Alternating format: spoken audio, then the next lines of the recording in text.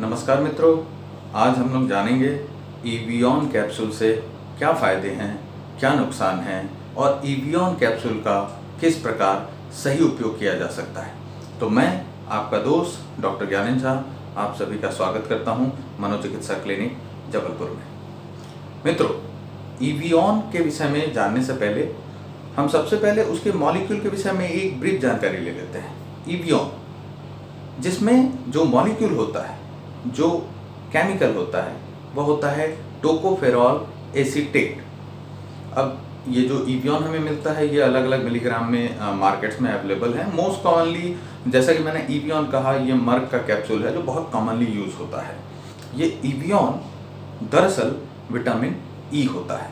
या more precisely मैं कहूँ तो हम विटामिन ई e का एक भाग इसे मान सकते हैं। तो मित्रों हम लोग ईवियन पे क्यों बातें कर रहे हैं? ईवियन पे इसलिए बातें कर रहे हैं क्योंकि मैं देख रहा हूँ कि ईवियन का इस्तेमाल बहुत ही कॉमनली लोग कर रहे हैं और अलग अलग तरीक़ों से कर रहे हैं। ओरली बाय माउथ ले रहे हैं। ईवियन कैप्सूल के अंदर पाए जाने जो वाला तेल है उसका भी प्रयोग करते हैं बालों में लगाने के लिए अपने नाखूनों में लगाने के लिए। तो ये तो आप समझ गए होंगे कि मोस्ट कॉमन यूज़ जो हो रहा है ईवियन का वो हो रहा है हेयर फॉल को रोकने के लिए और स्किन को तरोताज़ा रखने के लिए, ग्लो करने के लिए। क्यों? क्योंकि ईवियन दरअसल या विटामिन ई एक एंटीऑक्सीडेंट की तरह काम करता है। सरल शब्दों में अगर कहा जाए तो हमारे शरीर में जो भी ऑक्सीडेटिव स्ट्रेस बनता है आप पॉल्यूटेड एयर लेते हैं पॉल्यूटेड वाटर लेते हैं, या डे टू डे में आपके बॉडी में जो ऑक्सीडेटिव स्ट्रेस आता है फ्री रेडिकल्स बनते हैं, उनको समाप्त करता है, उनको ख़त्म करता है। दरअसल टोकोफेरॉल जो होता है, वो अपने एक हाइड्रोजन एटम को फ्री रेडिकल को डोनेट करता है और उसके हार्मफुल इफ़ेक्ट को ख़त्म करता है। तो मेन फ़ंक्शन अगर हम कहें कि ईवियन का क्या होता है?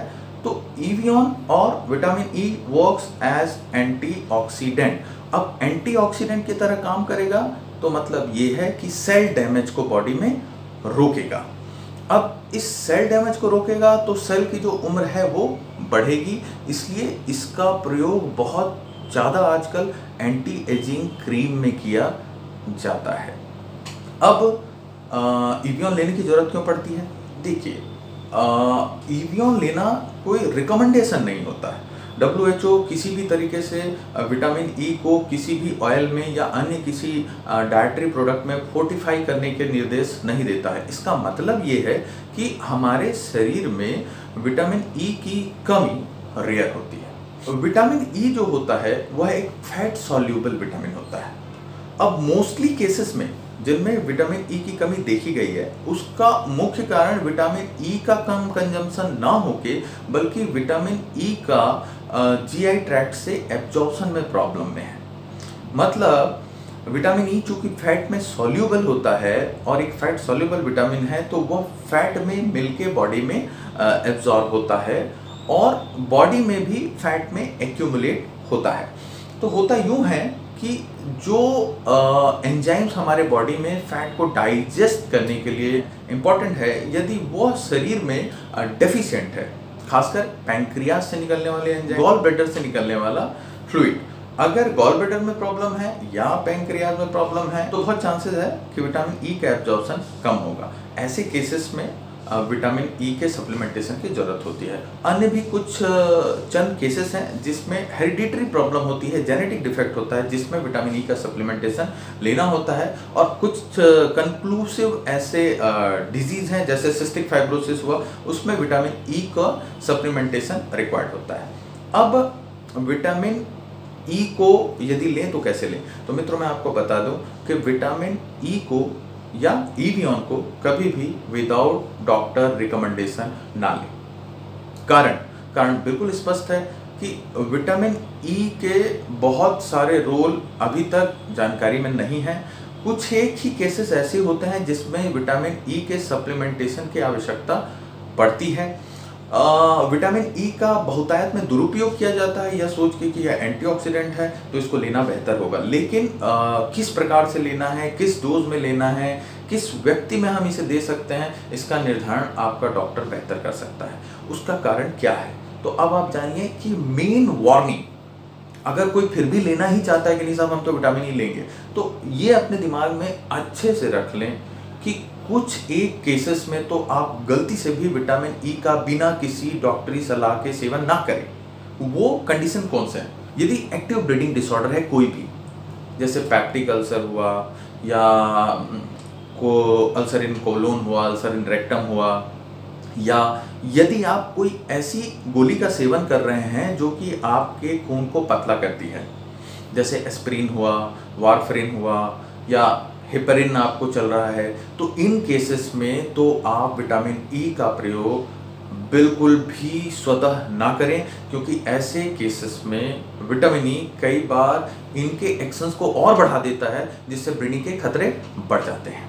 और कुछ ऐसे केस हैं जैसे ये बिल्कुल पाया गया है कि टेमोक्सीफेन नाम की एक दवा होती है, जो कि ब्रेस्ट कैंसर में काम करती है और ये देखा गया है कि अगर कोई व्यक्ति टेमोक्सीफेन ले रहा है, साथ ही साथ वह यूरियन का सेवन करे तो टेमोक्सीफेन का जो ब्लड कंसंट्रेशन है वह गिर जाता ठीक इसी प्रकार, चूँकि मैंने बताया कि विटामिन ई e एक एंटीऑक्सीडेंट होता है तो आपके बॉडी के ऑक्सीडेटिव स्ट्रेस को कम करके ओवरऑल ये बॉडी की इम्यूनिटी को बढ़ाता है पुस्टअप करता है।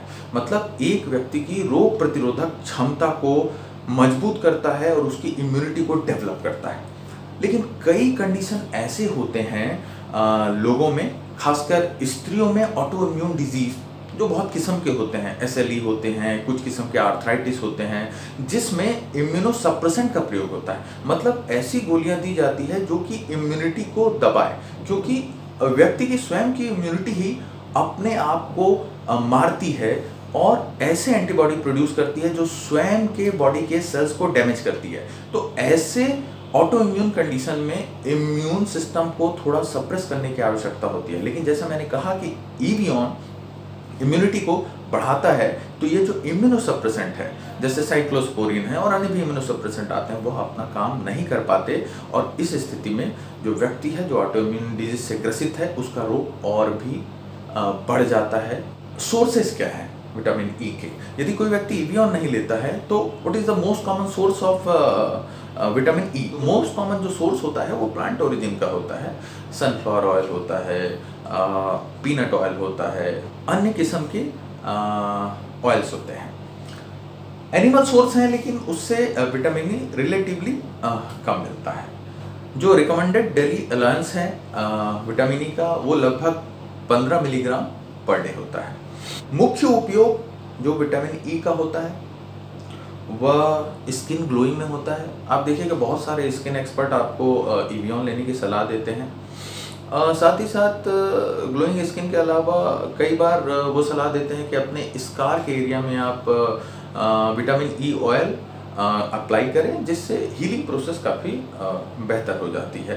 सोरियासिस के केसेस में एक्जिमा के केसेस में, जिसमें ईचिंग बहुत ज़्यादा होती है, या ड्राई स्किन में, जिसमें ईचिंग की पॉसिबिलिटी ज़्यादा होती है, उसमें भी वो विटामिन ई ऑयल का प्रयोग करने का निर्देश देते हैं। लेकिन एक बात का आपको ज़रूर ख्याल रखना है, यदि आप अपने स्किन पर विटामिन ई ऑयल या एबियन के ऑयल का प्रयोग करने वाले हैं तो सबसे पहले ईवियन या विटामिन ई ऑयल जो आप ले रहे हैं उसको अपने हाथों पर लेके आपने गर्दन की जो मुलायम त्वचा है, उस पर रात को लगाकर आप छोड़ दीजिए और सुबह तक उसको छोड़ दीजिए। सुबह देखिए, यदि वह स्किन बिल्कुल अनअफेक्टेड है, उसमें किसी किस्म की कोई ईचिंग नहीं हो रही है, कोई रेडनेस नहीं हो रही है, किसी किस्म का कोई रेसेस नहीं आ रहा है तो इसका मतलब ये है कि यू आर नॉट एलर्जिक और hyper sensitive to vitamin E oil और इवियन ऐसी परिस्थिति में आप अपनी त्वचा पर उसका प्रयोग कर सकते हैं। हेयर फॉल को रोकने के लिए भी उसका प्रयोग किया जाता है हेयर रूट्स पे, जिससे हेयर फॉल में भी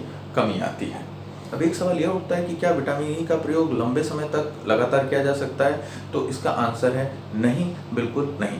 पहले तो आप डॉक्टरी सलाह के बिना इसका प्रयोग ना करें। यदि उसके बावजूद भी आप करना ही चाहते हैं तो यह याद रखें कि विटामिन ई का निरंतर लंबे समय तक उपयोग नहीं करना चाहिए, उसमें गैप करना चाहिए इंटरवल करना चाहिए। क्यों? क्योंकि मैंने शुरू में ही बताया कि एक फैट सोल्यूबल विटामिन है तो आपके शरीर में इसका जमाव होता है एक्यूमुलेशन होता है फैट सेल्स में।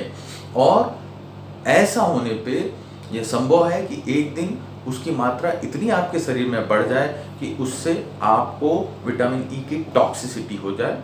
विटामिन ई e के ओवरडोज का जो मुख्य लक्षण होता है वह होता है पेट में क्रैम्प का आना या डिस्कम्फर्ट का फील होना नोजिया का फील होना वॉमिटिंग का सा फील होना डायरिया का होना और बहुत अधिक थकावट का महसूस होना।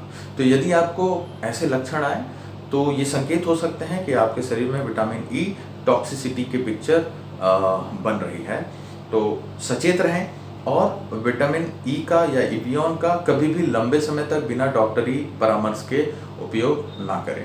उम्मीद करता हूँ मित्रों कि आपको मेरा ये इन्फॉर्मेशन पसंद आया होगा और आप इसे निश्चित तौर पर अन्य भी लोगों से शेयर करेंगे, जिनको जानकारी प्राप्त होगी कि यदि इबियन लेना है तो कैसे लेना है और किन परिस्थितियों में हमें इवियन बिल्कुल भी नहीं लेना है। मैं इस प्रकार के अन्य जानकारी वाले वीडियो आपके पास लाता रहूँगा। आपसे उम्मीद यही है कि आप इन वीडियोस को ज़्यादा से ज़्यादा शेयर करें।